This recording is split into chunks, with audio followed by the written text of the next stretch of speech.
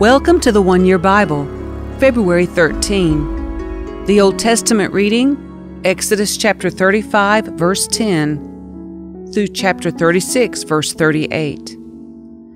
Come, all of you who are gifted craftsmen, construct everything that the Lord has commanded the tabernacle and its sacred tent, its covering, clasps, frames, crossbars, posts, and bases the ark and its carrying poles, the ark's cover, the place of atonement, the inner curtain to shield the ark, the table, its carrying poles, and all its utensils, the bread of the presence, for light, the lampstand, its accessories, the lamp cups, and the olive oil for lighting, the incense altar and its carrying poles, the anointing oil and fragrant incense, the curtain for the entrance of the tabernacle, the altar of burnt offering, the bronze grating of the altar and its carrying poles and utensils, the wash basin with its stand, the curtains for the walls of the courtyard, the posts and their bases, the curtain for the entrance to the courtyard, the tent pegs of the tabernacle and courtyard and their ropes, the beautifully stitched garments for the priest to wear while ministering in the holy place, the sacred garments for Aaron, the priest, and the garments for his sons to wear as they minister as priests. So the whole community of Israel left Moses and returned to their tents. All whose hearts were stirred and whose spirits were moved came and brought their sacred offerings to the Lord.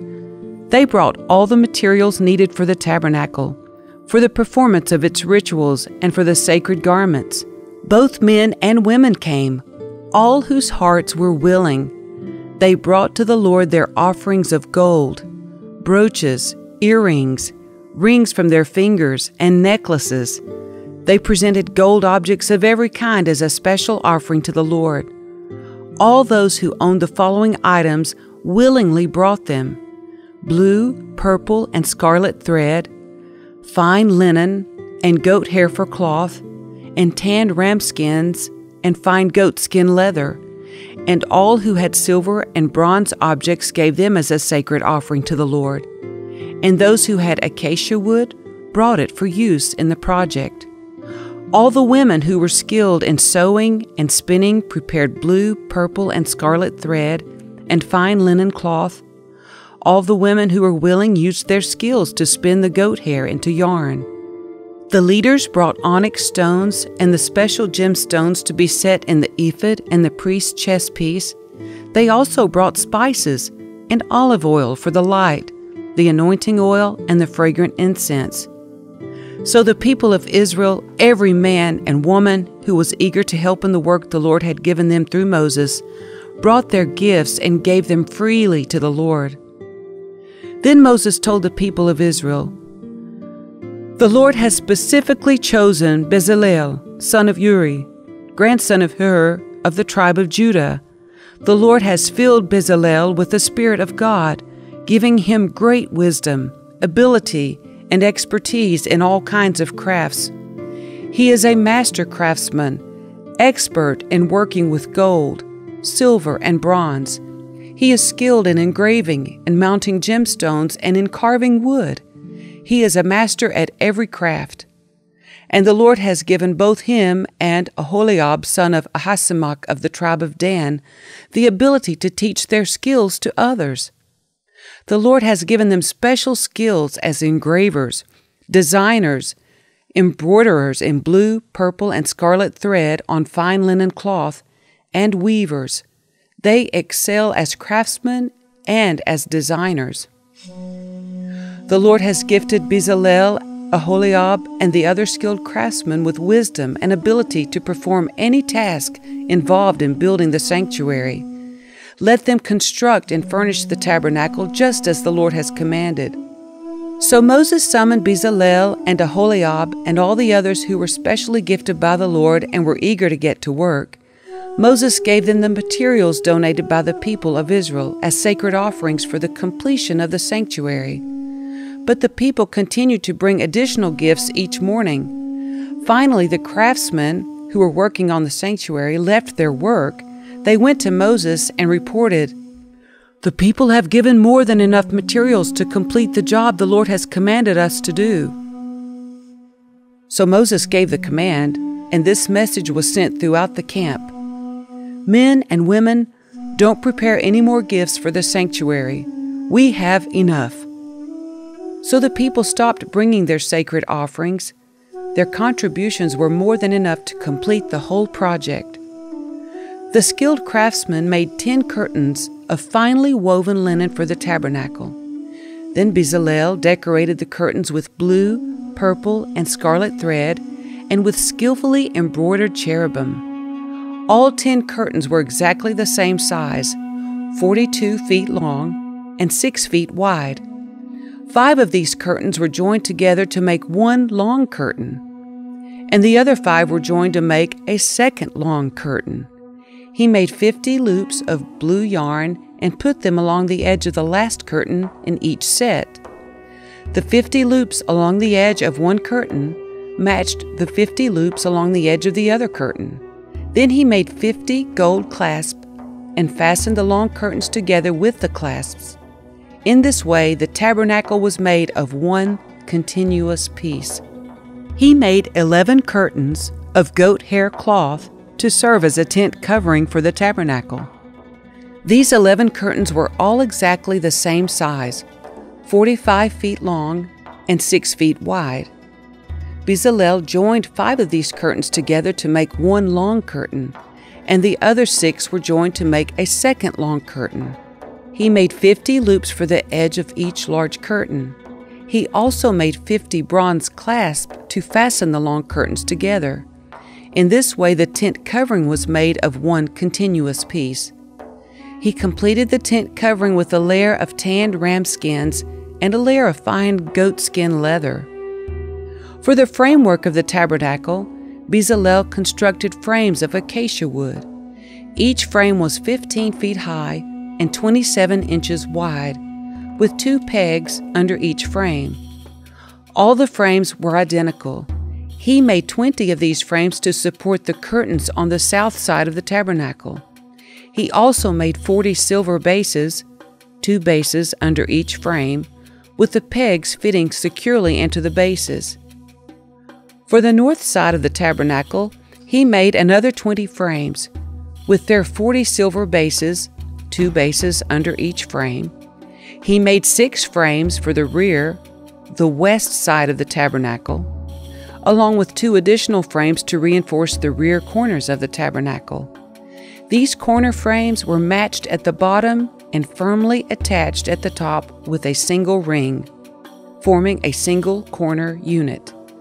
Both of these corner units were made the same way, so there were eight frames at the rear of the tabernacle set in 16 silver bases, two bases under each frame. Then he made crossbars of acacia wood to link the frames, five crossbars for the north side of the tabernacle and five for the south side. He also made five crossbars for the rear of the tabernacle, which faced west. He made the middle crossbar to attach halfway up the frames. It ran all the way from one end of the tabernacle to the other. He overlaid the frames with gold and made gold rings to hold the crossbars. Then he overlaid the crossbars with gold as well. For the inside of the tabernacle, Bezalel made a special curtain of finely woven linen. He decorated it with blue, purple, and scarlet thread and with skillfully embroidered cherubim. For the curtain, he made four posts of acacia wood and four gold hooks he overlaid the posts with gold and set them in four silver bases. Then he made another curtain for the entrance to the sacred tent. He made it of finely woven linen and embroidered it with exquisite designs using blue, purple, and scarlet thread. This curtain was hung on gold hooks attached to five posts. The posts, with their decorated tops and hooks, were overlaid with gold and the five bases were cast from bronze.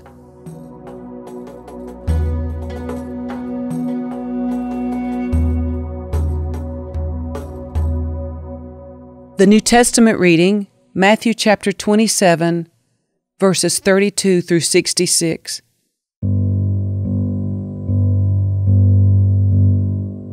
Along the way, they came across a man named Simon, who was from Cyrene, and the soldiers forced him to carry Jesus' cross. And they went out to a place called Golgotha, which means place of the skull. The soldiers gave Jesus wine mixed with bitter gall, but when he had tasted it, he refused to drink it. After they had nailed him to the cross, the soldiers gambled for his clothes by throwing dice. Then they sat around and kept guard as he hung there. A sign was fastened above Jesus' head announcing the charge against him. It read, This is Jesus, the King of the Jews. Two revolutionaries were crucified with him, one on his right and one on his left. The people passing by shouted abuse, shaking their heads in mockery. Look at you now, they yelled at him. You said you were going to destroy the temple and rebuild it in three days. Well, then, if you are the Son of God, save yourself and come down from the cross. The leading priests, the teachers of religious law, and the elders also mocked Jesus. He saved others, they scoffed, but he can't save himself. So he is the King of Israel, is he? Let him come down from the cross right now, and we will believe in him. He trusted God, so let God rescue him now if he wants him. For he said, I am the Son of God.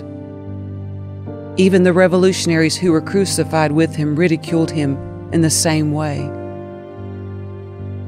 At noon, darkness fell across the whole land until three o'clock. At about three o'clock, Jesus called out with a loud voice, Eli, Eli, lama sabachthani, which means, My God, my God, why have you abandoned me? Some of the bystanders misunderstood and thought he was calling for the prophet Elijah. One of them ran and filled a sponge with sour wine, holding it up to him on a reed stick so he could drink. But the rest said, Wait, let's see whether Elijah comes to save him. Then Jesus shouted out again, and he released his spirit. At that moment, the curtain in the sanctuary of the temple was torn in two from top to bottom. The earth shook, rocks split apart, and tombs opened.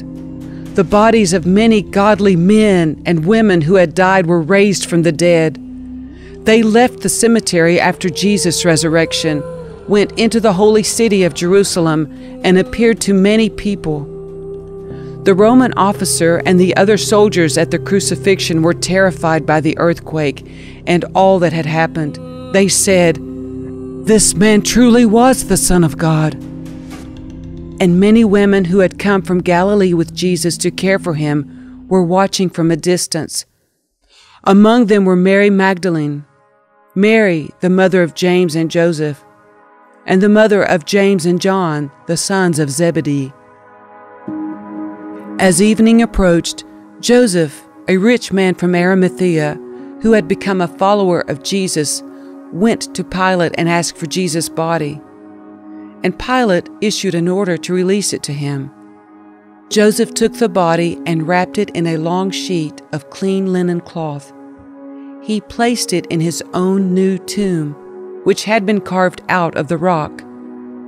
Then he rolled a great stone across the entrance and left.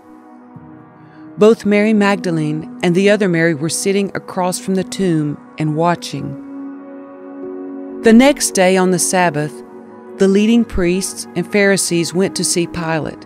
They told him, Sir, we remember what that deceiver once said while he was still alive. After three days I will rise from the dead. So we request that you seal the tomb until the third day. This will prevent his disciples from coming and stealing his body, and then telling everyone he was raised from the dead. If that happens, we'll be worse off than we were at first. Pilate replied, Take guards and secure it the best you can. So they sealed the tomb and posted guards to protect it.